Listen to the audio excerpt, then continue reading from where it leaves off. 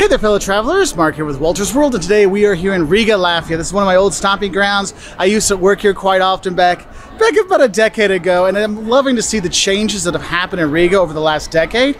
And today, what we have for you are kind of tips and five kind of tips and overall ideas and things you should know before you come to Riga because it is well worth visiting. I know a lot of people come here to party because that's the thing I'll talk about, but there's a lot more to just cheap drinks, cool clubs, and casinos here, all right?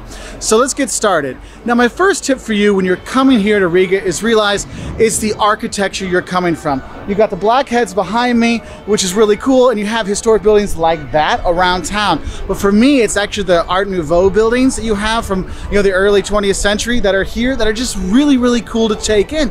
And you walk around, and yes, you see the gargoyles, you see the cool you know art add-ons that Art Nouveau has, and you have that here. And there's a reason why this is a UNESCO World Heritage Site. It's because of the fantastic architecture. So when you go around, you'll see the Three Brothers building people like, and yes, you will see the cat on top of the building there that it'll tell you the story that, oh, the guy didn't get into the guild, so they pointed the butt at them and then they let him in and they switched it back.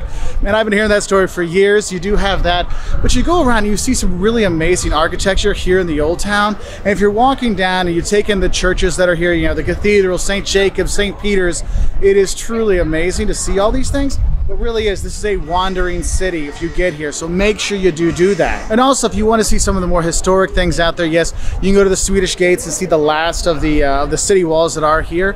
But honestly, walking around the town, the, the architecture is the really main drawing point for non-party tourists when you do come here. And because the second thing you should know is this really is a good party town. I mean, that was one of the reasons we came here for work, is because you could come here and you could have fun all night long. I mean, they party all night here in Riga, and it can be fun with tons of bars, tons of restaurants, casinos, go-go dancers, all kinds of stuff, and crazier things as well. And you can have that here. And so you'll see a lot of people coming on the weekends for like stag parties or bachelor parties here to party and do stuff. So heads up on the weekends. I think that's probably the biggest safety issue I would say for you here is watch out for the drunks late night. And it's not just on the weekends, it's also during the week too. So just a heads up, but it is a really cool party town. So do come here with the idea of, you know what, if I'm looking for a cheap place to go with my buddies for a weekend, this could be a really fun place to come okay?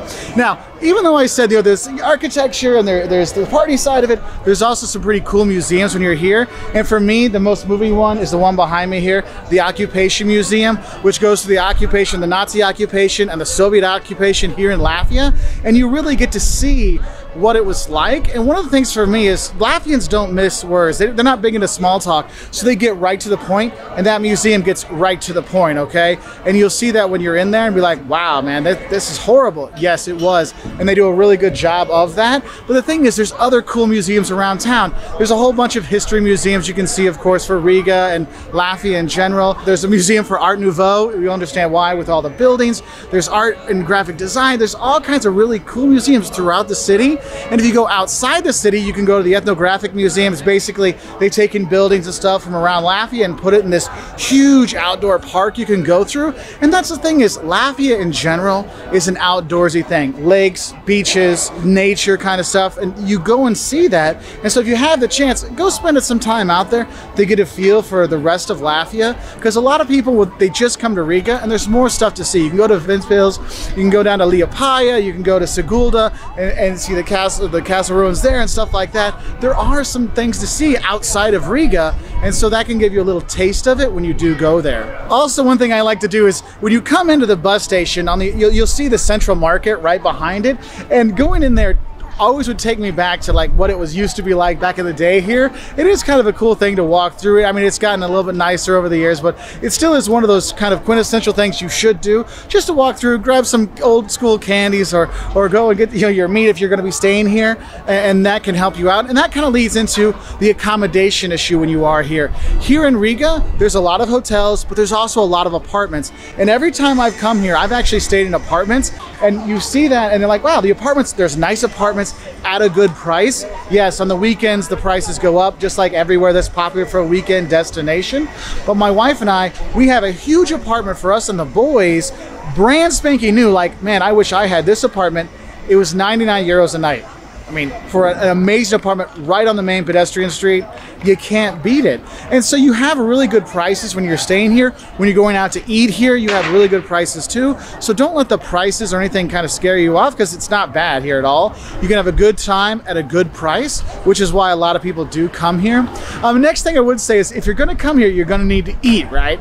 Well, you need to go to Lido, okay? Now, Lido is basically a chain now a bunch of little kind of buffet style Latvian cuisine restaurants, but it has that hokey, you know, old world uh, motif inside. But there's one, the, the main one has got, it's a whole center basically with the windmill and stuff near the river and, and, and you have them. But the thing is, that's what you have to have when you come here. You go have the shashlik. It's, you know, cubed chicken or pork on a skewer, like a shish kebab we call it in the US. That's awesome. Also, you can see that it looks like Pepto Bismol soup. It's cold borscht soup in the summer. You can have that, and, and it's just like a nice atmosphere when you are here. So definitely go eat at Lido when you are here. And there are a bunch of other restaurants that are good and nice outdoor cafes in the summer months, okay, things like that. And I guess that would lead us into like the weather issue. Now in the summer, look, I'm here in June, okay, and I'm wearing this. You see the people behind me. It's not like a super hot destination, let's say. July and August are the best times. Um, I will say in the winter months, it can get bitterly cold. I was here once with my buddy Dave, and it was like January, and we went up St. Peter's. We went up to the top one of the churches, and they, they let you take an elevator up always a good one, okay? And we took the elevator up, and the guy's like, Are you sure you want me to? I can leave the door open. You guys can run out, run back in. We're like, no, we'll be fine. He's like, All right. He goes, I'll go down and come right back up. He went down, came back up. By the time he got back up, my friend and I were huddling with each other on the floor in front of the elevator. So it can be bitterly cold in the winter here. So I would recommend making this more of your summer, spring, fall destination versus a winter destination, okay? One thing you should try when you're going to have your party times and stuff like that is you should try Riga Balsams. It's like it's a black liquor they have here and they'll make many drinks, different drinks with it. It's an acquired taste, but it's kind of a traditional gifting drink when you take it out of the country. So that's something you might want to try. Now let's look at transportation. Getting to Riga is actually pretty easy. You have the cheap airlines that'll come in here. You've got buses that'll come from Tallinn is four and a half hours away. Vilnius is about four hours away. You can get pretty much anywhere in the country within three hours, three to four hours. Because Latvia, though you think it's small because you only think of Riga, it's actually kind of a good sized country, you know, bigger than the Netherlands or Belgium or something like that. And so you, you it takes a little bit of time, but it is mostly buses. There are some train lines that go places. For example, you want to take the train to Moscow or St. Petersburg or Minsk, you can leave from here, no problem. So that's easy. But I feel going around the country, your best bet is taking the buses. And if there's like an express bus, take the express bus. It'll be a lot faster, okay? I'm just giving you the heads up on that one. Um, but overall, I've always enjoyed coming to Riga, and for me, it's more walking around the city, taking in the architecture, you know, laughing at the cat, seeing the Blackheads buildings, going to the Occupation Mu Museum. The Executive Arts Museum is totally cool too. There's a lot to offer here, and that's one thing. In general, in the Baltics, there's a lot to offer, but not a lot of tourists come here, except they're going to go party for a day or something like that. So come and enjoy Riga, come and enjoy Latvia, Estonia, Lithuania, the whole Baltics. It is a great place. Anyway, I will leave you with that and I'll say bye from Riga. If you want to learn more, some things you should know before you come to Latvia, maybe some tips on the Baltics, like a Baltic itinerary tour, check us out on our website at woltersworld.com. We're also on Twitter, Facebook, Instagram, YouTube, and we really appreciate your likes, subscriptions, and we hope you have a great time in Riga. But whether you like architecture, culture, or partying, you will. Bye from Riga.